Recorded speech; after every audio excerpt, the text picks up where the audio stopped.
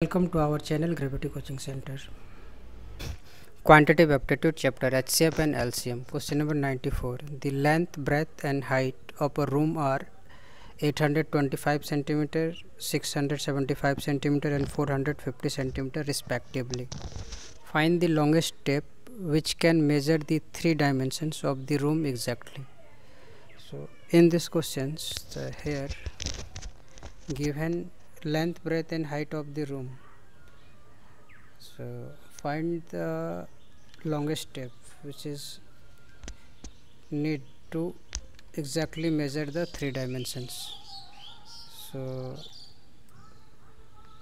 first of all we will be find the HCF of this given numbers here is given length is a 825 meter centimeter sorry. And breadth is a 675 centimeter. And height equal to 450 so we will find the HCF by shortcut trick.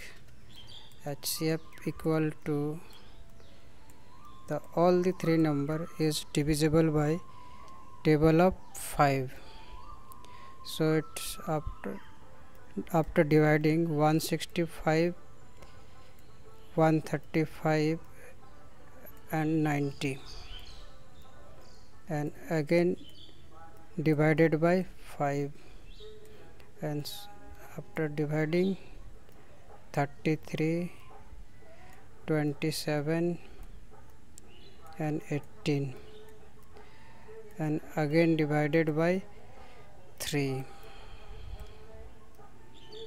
so it's 11 9 6 so no any other common factor than 1 so therefore HCF equal to 75 so therefore hence the the longest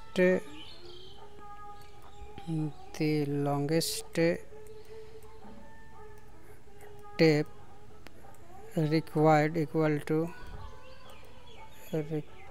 required equal to 75 centimeter. So option b is the right